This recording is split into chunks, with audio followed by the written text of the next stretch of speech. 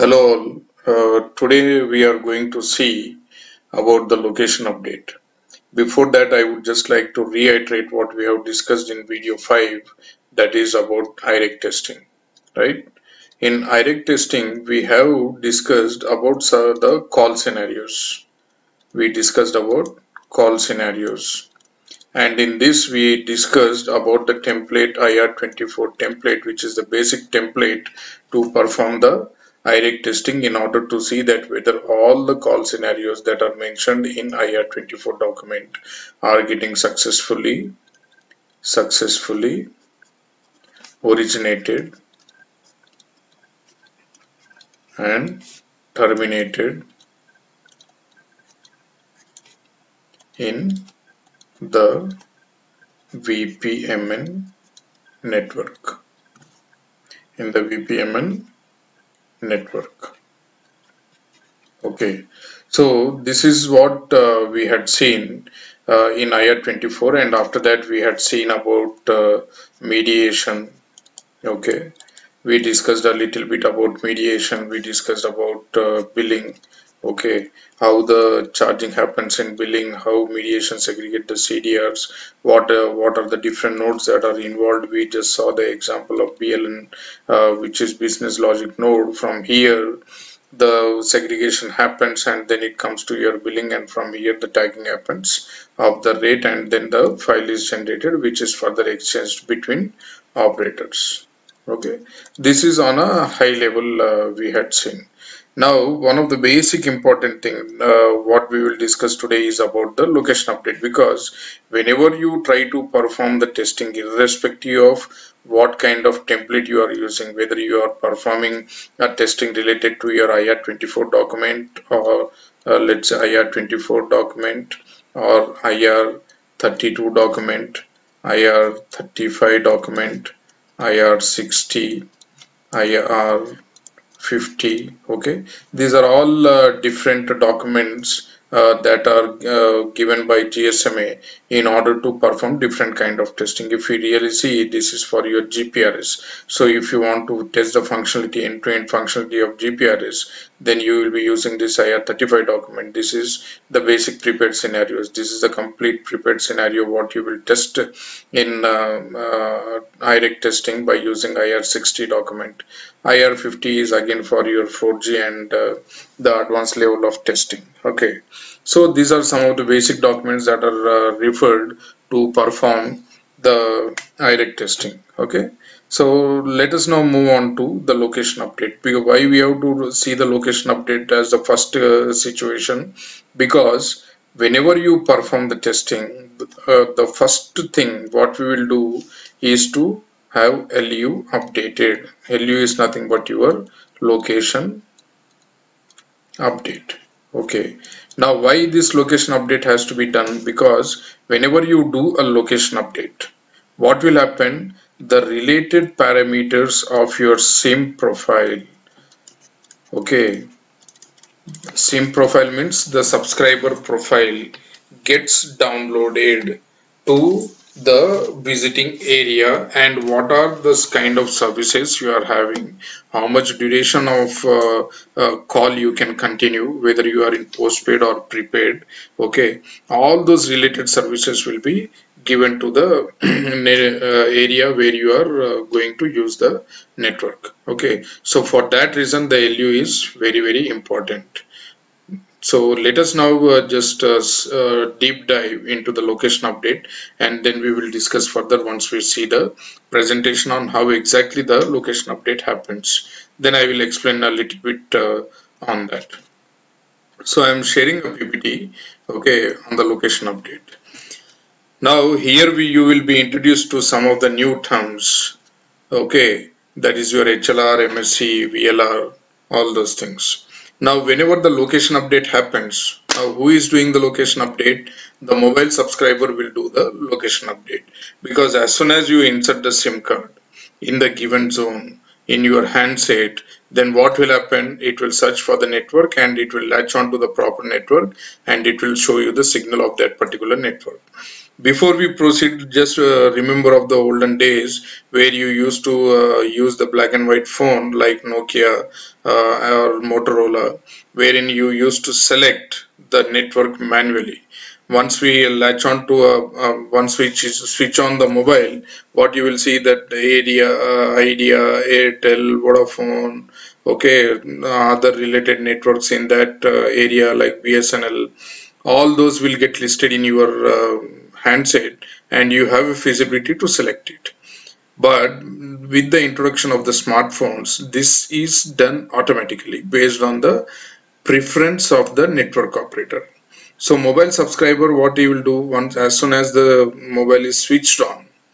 Okay, so the signal gets exchanged. This all happens via air interface. The signal gets exchanged between two different network elements or within the home zone itself. Okay it is not necessary that only when you go from one destination to the other destination then only the location updates. No. The location update is a continuous activity. It continuously keeps on monitoring as and when you move from one place to another place so as a first time activity what will happen? The mobile subscriber will insert the sim card and automatically the LU request is sent. The LU request is sent to a place where you are currently located. Okay.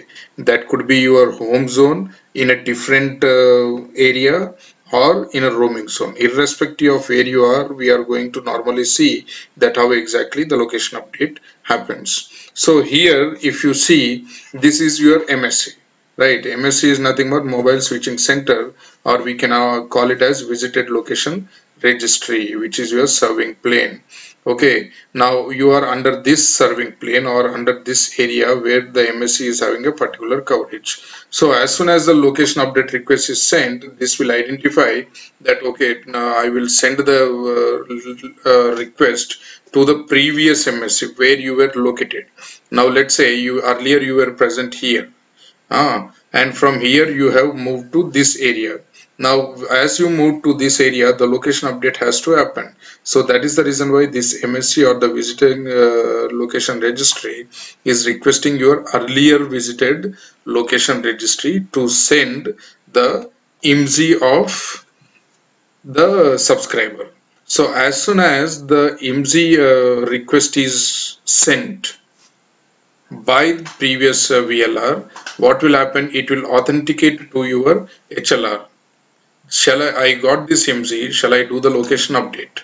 So why it will authenticate to the HLR? HLR is home location registry. It's a database. It has uh, two different parts. One is the static database and the other is the dynamic database in uh, HLR. Now static database is what the fixed information is available. Like the name of the subscriber the address of the subscriber okay what is the profile or whatever the basic detail that we give uh, to while opening the uh, connection or while getting the connection that details will be to, means uh, present in your dynamic database. Static database is now you are moving from one point to another point right or you are opting for some of the services. Let's say you took a services of uh, VAS.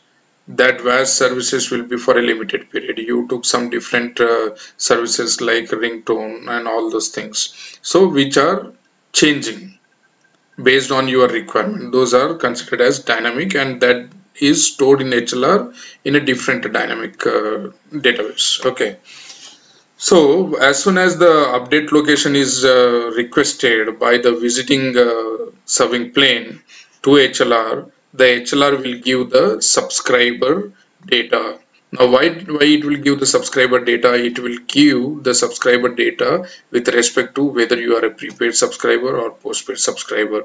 If you are prepaid subscriber then how much duration of the call you can talk. Okay, if you are a postpaid subscriber then it will mention that he is a postpaid subscriber. What are the services you can use either you are prepaid or postpaid. What services you can use. What barring services are present on your uh, uh, SIM profile.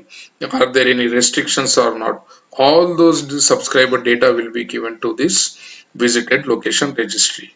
Then as soon as it receives from the HLR then again it will send the uh, authentication to HLR stating that whatever the information you had given to me I have received it. Okay. And as soon as it says that I have received it then HLR will say okay you received the data now you do the location update now as soon as uh, that message is given by HLR to the serving MSC then it will do the location update. Okay and you will be able to see that the location update happened in your handset. Means you will be able to see some operator signaling on your handset. Now here you are doing a location update. Earlier your data was present in the previous uh, location right? So as soon as your new location is updated then the previous location has to be cancelled. So it will HLR will send a cancellation request to the previous LR, uh, VLR okay? So that is how the location update happens. So once the location is cancelled in your previous uh, uh, MSC or VLR then you are completely now available in the new visited location so as uh, till you are present in this uh, zone there will be a communication between your uh, network elements. And as soon as you move from this MSC to some other MSC or some other area where the MSC is different then again the entire process of location update will happen. Okay? And this happens within a fraction of second because as soon as you switch on the mobile for the first time you don't need not to wait it happens in a fraction of second and it will uh, show you the network. And once the location is updated whenever you are moving you don't know that there is a location update happening because it's a seamless connectivity that is established between the telco operators or seamless connectivity provided by the telco operators to see that there is an uninterrupted uh, coverage given. So that is the reason why everything happens in a air interface and it happens within a fraction of seconds Hope the concept of location update is clear. If you have any doubt regarding the location update, please share your comments in the below video and uh, write your suggestions so that I will able to uh, uh, do it more uh, informative okay? So thank you for watching the video on the location update. In our next videos we will discuss the basic call flows how exactly the call flow happens. Call flows means when i am making a call or when you people are making a call from one one point to another point that is from one handset to another handset or for one subscriber to another subscriber. Then how the call routing happens how the call gets established between the two mobile subscribers uh, that all we will see in the upcoming videos which we which I will name it as call flows. So please do visit it because as we progress towards the advanced technology like 4G and 5G this information is very much required because there we will not discuss okay how the call flow happens or how the location update happens. We will discuss in advanced level. So this information will be very useful because some of the terms when we say okay this is what is happening then you all will be able to correlate okay back end this is the story that is there uh, for uh, how the location update happens or how the call uh, flows uh, get exchanged between the two different mobile subscribers or between two different network elements. So that will be easy to correlate. Okay. So i'll see you all in the next uh, video and uh, thank you for watching the video. Thank you very much